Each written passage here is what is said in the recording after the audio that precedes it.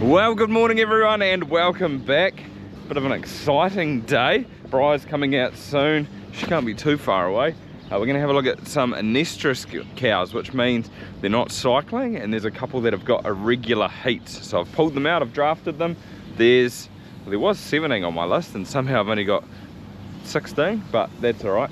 There's three in this paddock, I need to get out of there soon. Which means there is 13 in here and this is from the older group. Whereas those other three are from the young group which is actually pretty good. Three out of about 100 about three percent. Maybe it might be 120 so maybe a little bit less than three percent. But last year i pulled out 22 so i've got a few less this year which is good. Uh, and out of those 22 21 got in calf. So i think it's definitely worth it from those results. Great timing. Great timing. 16 16. yeah not Love too it. bad eh? Yeah, well done. This is the exact same, I was going to call it a probe, but it's not really a probe, it's a uh, probe. That's the right term for it, yeah. All right, probe as uh, when we pregnancy scan. And an obsec.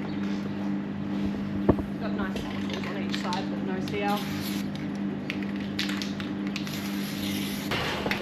This one was actually done last year, Ah, repeat offender. but I feel like she will come on. She's only like five days uh, since it's picked her up as anestrous. It maybe time would have got her. She's had a, she's had a. Easy. She's had a silent heat. She's got a great big follicle sitting there. Oh, so she has had a heat. That is first, probably her first one, which is silent usually. Oh yeah, Yeah, so she's got a, she's got a nice CL there and she's got a great big follicle sitting beside it. that's easy. She's got a CL cyst. That's why she's not cycling. Oh, beautiful. Basically, that cyst is telling her she's pregnant. So she's not going to ovulate. No. And it, it's the, this is what blows me away is that just the PG shot will fix it Yeah. really quickly. It's a, it's a, it's one of the easiest problems to cure. Let's put it that way. yeah. So this is one that's got a regular heat. I'll chuck the graph up here and this is what it looks like. So it's just really spiky. The green lights, green line's the heat intensity. So it's all over the place. Uh, whereas this one here from another cow, this is what it should like. Nice high green peaks every sort of 21 days. She does have a CL, but she has no follicle, so if we dissolve it, not much is going to happen. Oh yeah. Um, so up to you whether you want to Ovsynch or CIDR her. What would you do? CIDR is always going to give you your best response, and because she's a regular, that CIDR insert is going to stop her from doing anything weird in the next week, because it's essentially a full reset of the system. Oh yeah. So that's probably your best, I mean, it's always your best chance. Oh, we'll just success. do it over here. Yeah. At the moment we can dissolve that CL, but she's got no follicle there to, to ovulate, so So she um she was actually empty as a two-year-old and it carried her over. She got in calf last year. Would that have anything to do with why she might be might have been empty? Not now. It's it's hard to say. There's a lot of sort of factors that that go into that. Um, whether she has something different going on with like her estrogen surges and that kind of thing, because all of that heat behaviour is related to estrogen Oh yeah. estrogen surge. Whether she does just have an unusual cycle, it's a little hard to Pinpoint. hard to say. Yeah, no, fair enough.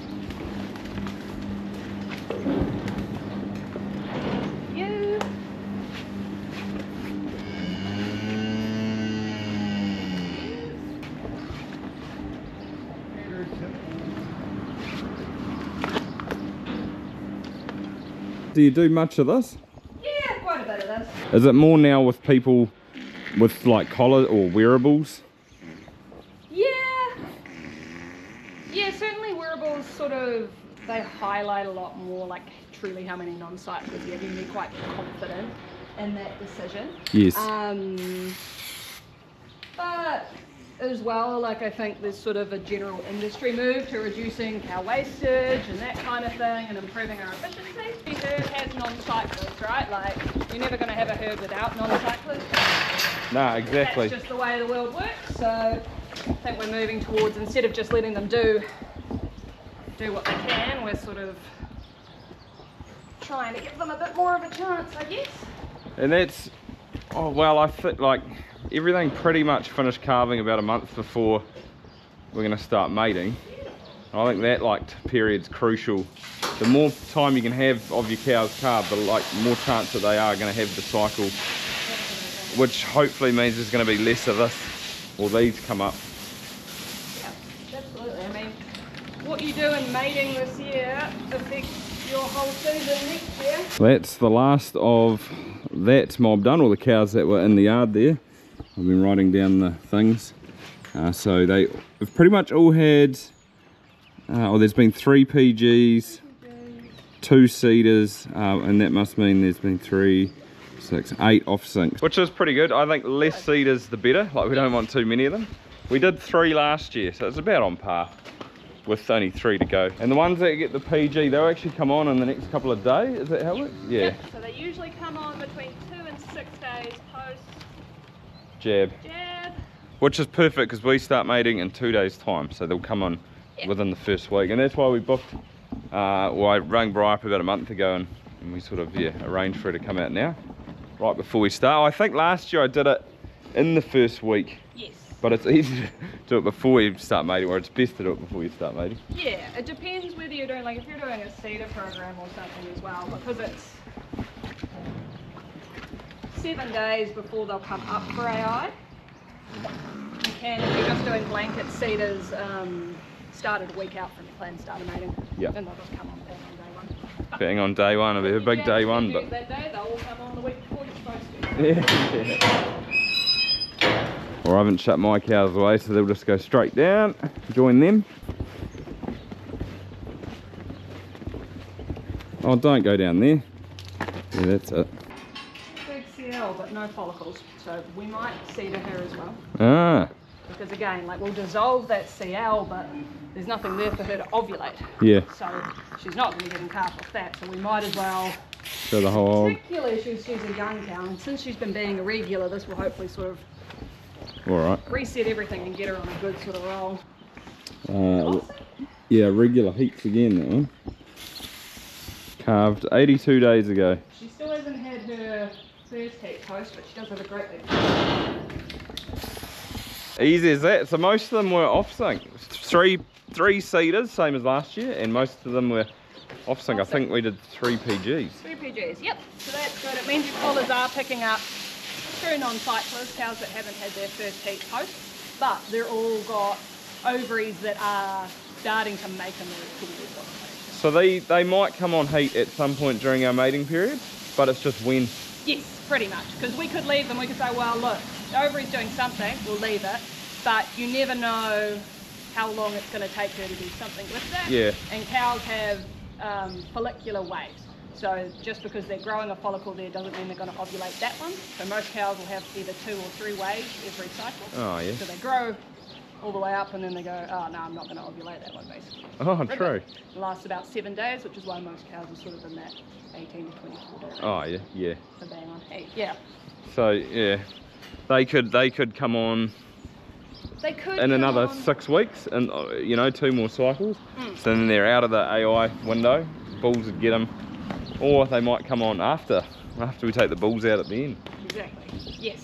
You never know. The longer you wait with non-cyclers, the less non-cyclers you treat, but the less return on your investment you get. You Yeah. don't get the days in milk back. Yeah, so that's one of the things about doing it now is that we're getting, say if they had waited another um, six weeks, you know, we're getting six more weeks worth of milk if, uh, if we can get them in calf earlier, potentially. You never know when they're going to come on, but yeah, as you said, best investment Yes.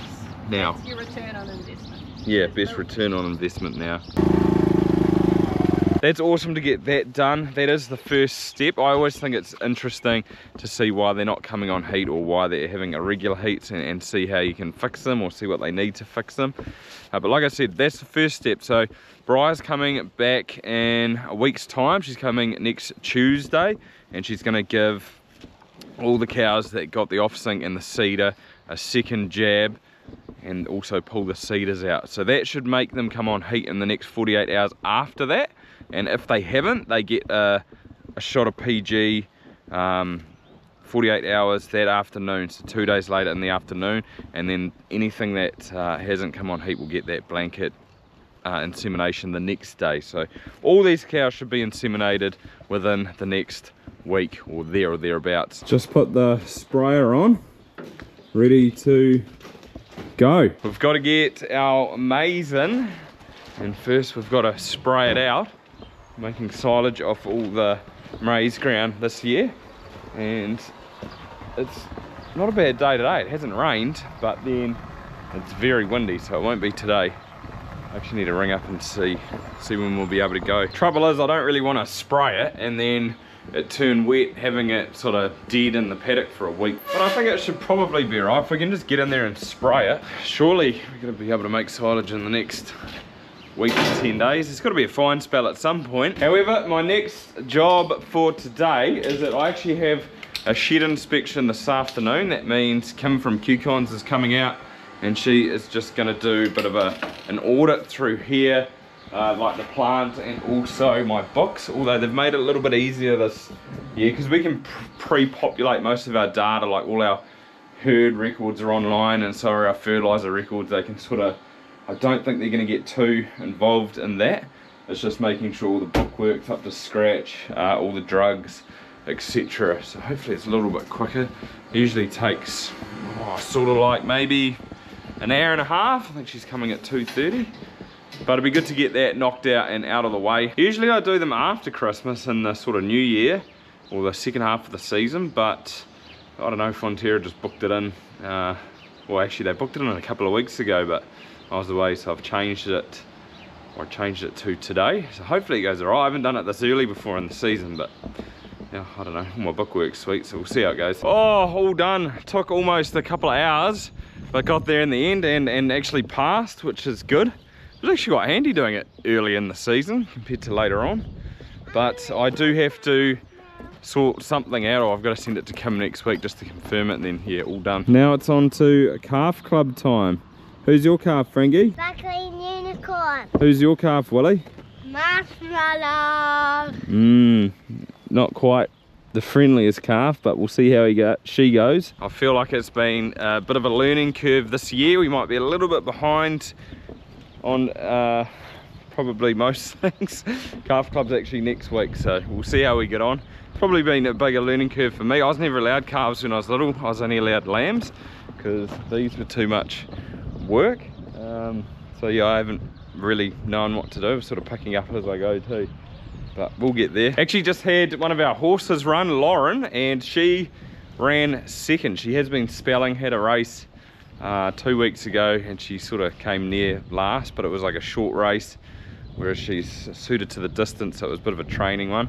Uh, and yeah, she came second today, so that is a good note to, to end it on. So apart from that, thanks for watching and we'll see you next time.